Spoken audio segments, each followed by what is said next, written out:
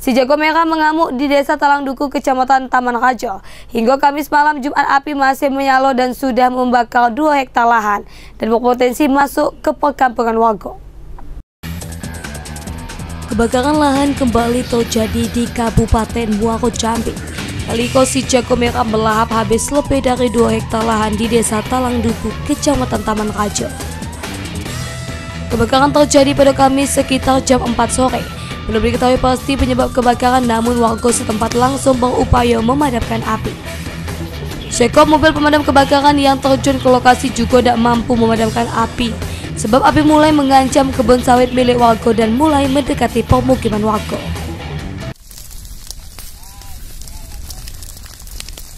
Amin. Uh.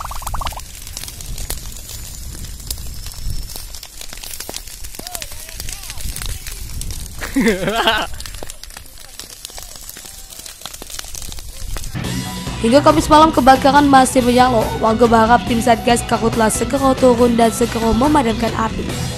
Asal patah angin, cek TV, ngabarin.